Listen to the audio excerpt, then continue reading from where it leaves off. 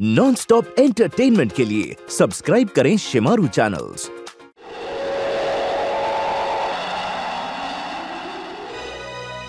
स्वामी, आज चौदह साल के घोर वनवास के बाद आज हमारे पुत्र राम और लक्ष्मण सीता के साथ दानवों पर विजय प्राप्त करके लौट रहे हैं। आज मुझे इस खुशी के मौके पर आसमान भी छोटा लग रहा है। फिर भी मुझे एक ही बात का दुख है। कि आज आप नहीं हैं स्वामी। अगर आप होते तो? अगर आज आप होते तो? मैथिली आज सियावर रामचंद्र पधार रहे हैं और साथ में ये भी है इनके छोटे भाई। हाँ लक्ष्मण भाई। हाँ मैथिली आज चौदह साल के बाद मेरे हाथों को प्रभु के चरण को स्पर्श करने का अवसर प्राप्त होगा। चौदह चौदह साल के मेरे त्रुषित नयन आज इनके दर्शन पाएँगे। मैत्री, जाओ मेरे आभूषण ले आओ, कीमती से कीमती वस्त्र ले आओ। एक ही सुगंध से पूरी अयोध्या महक उठे, ऐसे अत्तर ले आओ।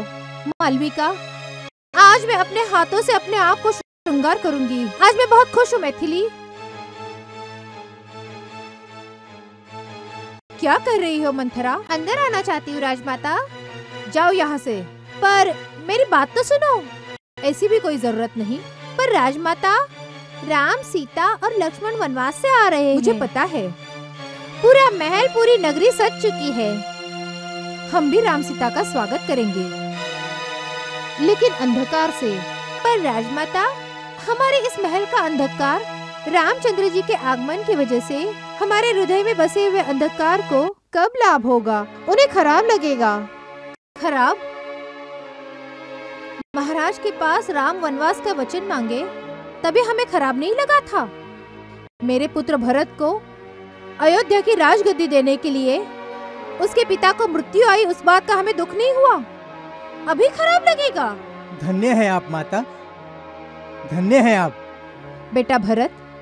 पुत्र? क्या राम आपके पुत्र नहीं है?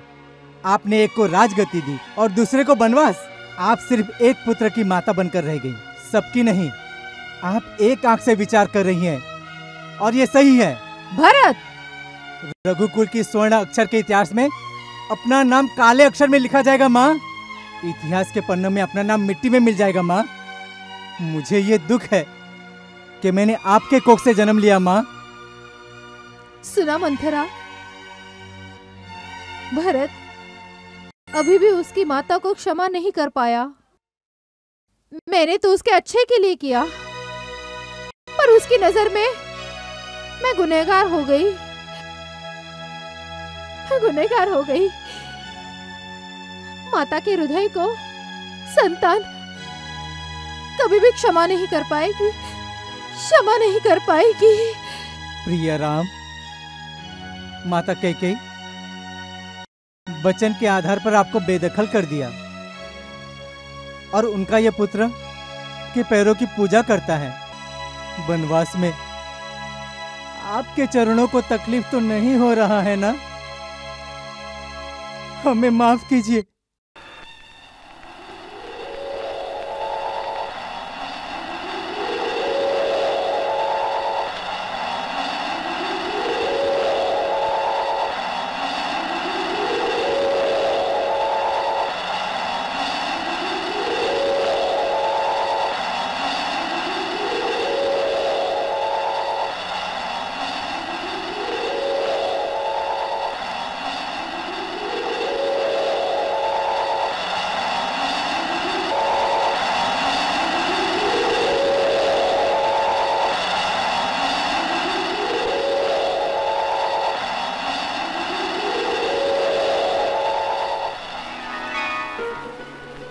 अयोध्या कब आएगी स्वामी?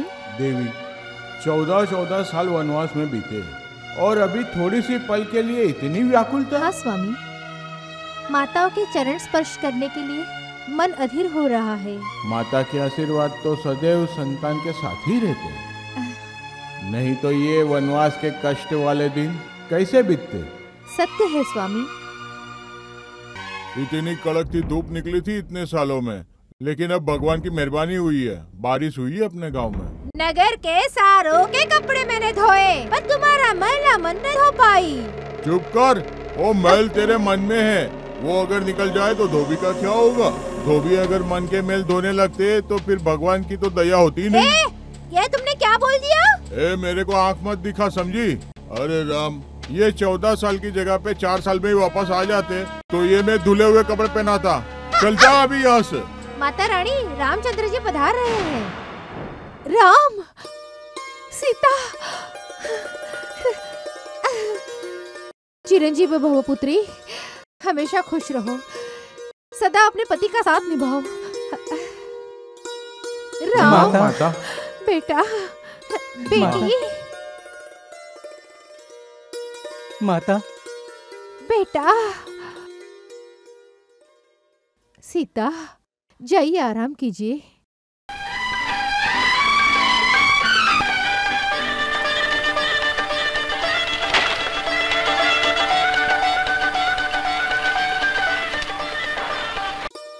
चलिए माँ कैके के भी आशीर्वाद लेके आते हैं। जी। हाँ माँ कैके के आशीर्वाद के बिना हमारा आगमन अधूरा रहेगा। राजमाता क्या आप राम को आशीर्वाद नहीं देंगे? तुम्हें मेरे आशीर्वाद की ज़रूरत है। जिसने तुम्हारे पास से अयोध्या का राज्य छीन लिया जिसने तुम्हारे मस्तक से पिता का छत्र छाया छीन ली उसके बदले वनवास भेज दिया। राजमाते आपने जो मुझे वनवास ना दिया होता तो ऋषि मुनियों के आश्रम में धार्मिक कार्यों में विघ्न डालने वाले राक्षसों को मारने का मैं निमित्त न बना होता माँ। परंतु राम माँ आपके पुत्र की शक्ति को आपने पहचाना है। मेरे भाग की लकीर को आपने पहचाना है माँ। और वचन के खातिर आपने मुझे वनवास दिलाया। और कलंक का काला टीका लगा लिया माँ। फिर भी आपने इस उपकार की किसी को भनक ना लगने दी किसी को जानने नहीं दिया। राम बेटा राम। मेरा संपूर्ण जीवन माँ आपके चरणों में अर्पण करता हूँ। और आप अपने राम को आशीर्वाद से वंचित रखेंगे माँ। चिरंजीवी भो बेटा। विजयी होना मेरे राम। माँ मुझे क्षमा कीजिए माँ। बेटा होकर मैं अपनी माँ की आदेश को कैसे ठुकराऊं? और आपने अन्याय किया। नहीं माँ। हाँ सुप्रिय। पति के आगमन पर आँसू बहा रही हो। आँसू तो बिरहा के होते हैं। ये तो मिलन की मोती हैं। चौदह चौदह साल के बाद भी मैंने अपने आप को विरह के समुद्र में खो दिया। तभी ये मोती प्राप्त हुए हैं। हमारे साथ बनवास आने के लिए तुम बहुत उत्साहित थी मगर मैं तुम्हें महल में रहने के लिए कह गया। अन्याय किया मैंने। आपके हृदय में मेरा सुख वसा हुआ है स्वामी। मैं महल में रहने वाली विरह में बैठूँगी पर वरमास नहीं बैठूँगी। ऐसी आपकी दिली चाहत थी ना? सत्य कहा उर्मिला। और अगर मैं आप लोगों के साथ आती तो माता कौशल्या और माता सुमित्रा का ख्याल कौन रखता? मैं महल में रहकर तो उनकी सेवा का सौभाग्य मुझे प्राप्त हुआ। धन्य हो देवी। धन्य हो। स्वामी पत्नी यानी कि पति का अर्धा अंग पति की छाया। और अब अपनी छाया को अपने से दूर मत करना। काया को कुछ नहीं होगा। पर छाया का अस्तित्व नहीं रहेगा स्वामी। नहीं। छाया का अस्तित्व नहीं रहेगा। भाई भरत। आप आ गए भैया। हाँ भरत। यादें ताज़ा कर रहा हूँ। महाराज की याद आ गई। हाँ। उनसे पुत्र वियोग ना झेला गया अब उनकी आप अंतिम इच्छा पूरी कर दीजिए। आप आ गए हैं।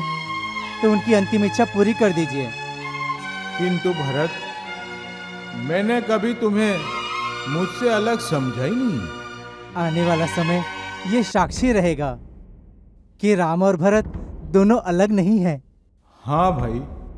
और आप इस राज्य को स्वीकार करके आप इस ज़िम्मेदारी से मुझे मुक्त कीजिए प्रभु। स्वीकार कर लीजिए मेरे बड़े भैया। मैं आपके चरण स्पर्श करता हूँ। भरत स्वीकार कीजिए। तुम्हारी खुशी में मेरी खुशी समाई है। मेरे भाई भरत। बड़े भैया। भरत। स्वामी राज्य सच्चा और सुंदर है पर सच्चे इंसान का मन समझना मुश्किल है।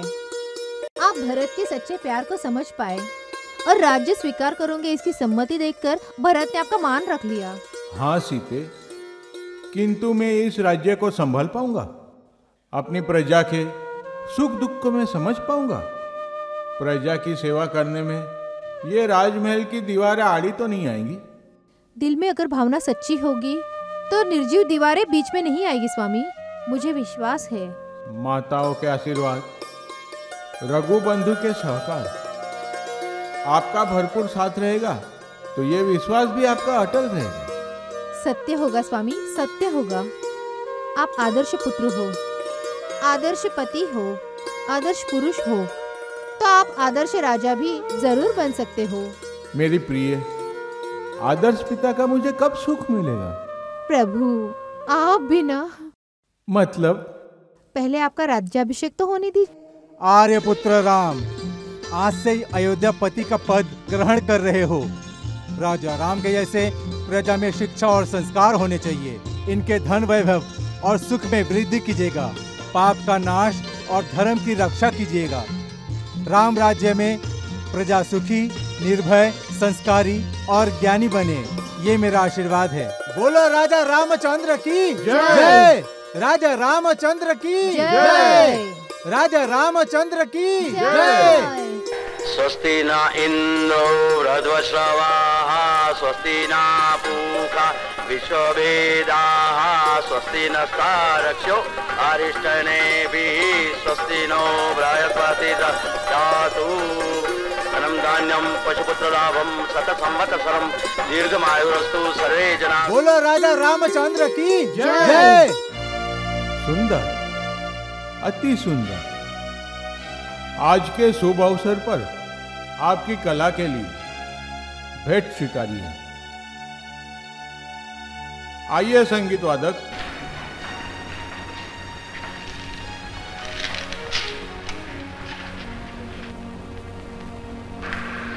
स्वामी आप एक व्यक्ति को भूल रहे हो।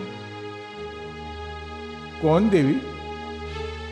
जो आपको और लक्ष्मण को अपने दिल में बसाया है। अशोक वाटिका में जिसने आपके अंगूठे में मुझे अपने दर्शन करवाए। लंकापति के युद्ध के दरमियान लक्ष्मण के प्राण बचाने के लिए संजीवनी बूटी लेकर आए। पवन पुत्र हनुमान की बात कर रही हो। हाँ देव उनको उपहार देकर उनका आदर कीजिए। किंतु देवी पवन पुत्र का यह उपकार उनकी सेवा उपहार से भी बढ़ के सीते क्या ये उपहार स्वीकारेंगे? क्यों नहीं स्वीकार करेंगे? तो अवश्य दीजिए। आपके हाथ से ही दीजिए। पवन पुत्र लो। ये हार स्वीकार करके हमें धन्य कर दो। आपकी बहुत बहुत कृपा माता श्री। मुझे खुशी होगी। ये स्वीकारो। आपकी सेवा करके मैं धन्य हो गया।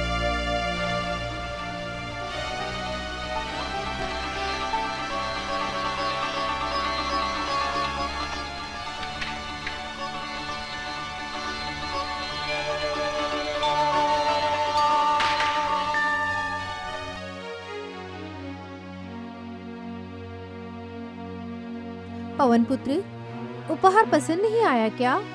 हे माता श्री ये तो इसके टुकड़े करके आप इसमें क्या देख रहे हो? नाम प्रभु का नाम।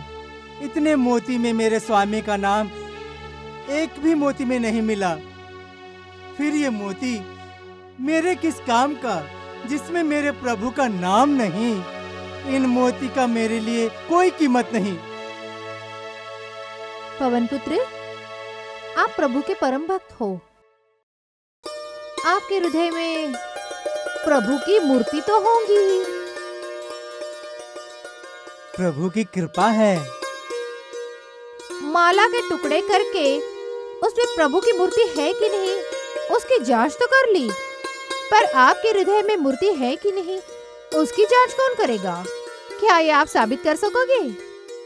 देवी सत्य भक्त कपट नहीं कर सकता माँ। आज मैं दिखाता हूँ। प्रभु राम, आपकी अनुमति चाहिए।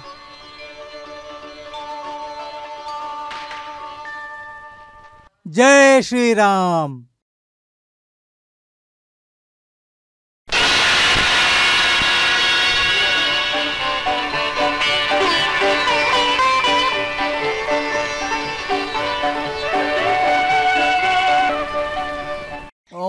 शिवाय ओम नमः शिवाय ओम नमः शिवाय ओम नमः शिवाय ओम नमः शिवाय ओम नमः शिवाय ओम नमः शिवाय ओम नमः शिवाय ओम नमः शिवाय ए पगले भगत।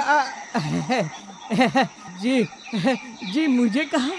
हाँ जी यहाँ लड़कियों के स्नान करने की जगह पर प्रभु का स्मरण करने बैठे हो। असत्य वचनम असत्य सत्य वचनम। वचनम। क्षमा करो देवी मैं ब्रह्मचारी हूँ। क्या कहा? हाँ। अनभिज्ञ? हाँ। इतने बड़े होकर? फिर भी स्त्री पुरुष के बारे में असत्य हो? असत्य वचनम असत्य वचनम नहीं नहीं देवी। इस भूमि का इस भूमि से मैं अनजान हूँ। इस जुने गाँव में मेरा आश्रम है। पहली बार बाहर निकला हूँ आश्रम से। ओ, तो तो मैं मूर्ख ही हूँ कि इस अनजान इंसान को अपना समझा। आपका मन दुखी हुआ ना? क्षमा तो मुझे मांगनी चाहिए। मुझे क्षमा करो। हाथ मत लगाओ देवी हाथ मत लगाओ।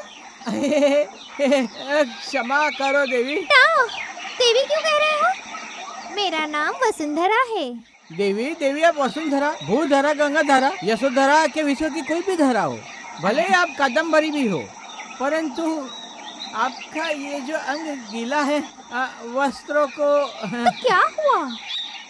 मुझे सर्दी नहीं लगेगी। असत्य वचनम असत्य वचनम हाँ परंतु देवी आ, इस तरह से मेरे समीप मत खड़े रहिए। मेरा मन विचलित हो रहा है। आप कृपा करके यहाँ से जाइए। जाइए जाइए फटाफट। पर किस लिए? मैं ब्रह्मचारी हूँ और हमारे मन स्त्री दर्शन के स्त्री स्पर्श वर्जित है। कोई वजह? स्त्री नाम प्रभु शरण में बाधा है। ओ मतलब इसका अर्थ ये आपका जन्म तो आपके पिता ने ही किया होगा ना? हाँ।